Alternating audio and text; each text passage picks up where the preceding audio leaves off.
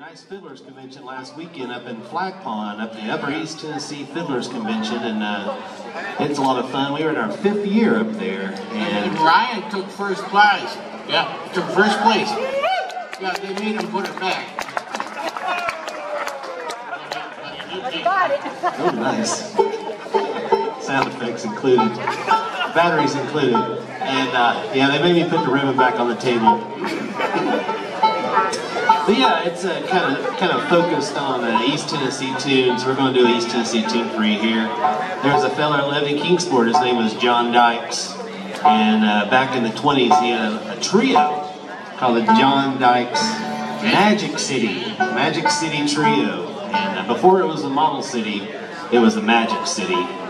And so uh, this tune's called uh, Tennessee Gals, Tennessee Girls.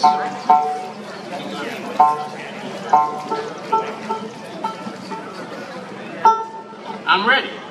All right, is it rolling, Bob? I'll start with that beat.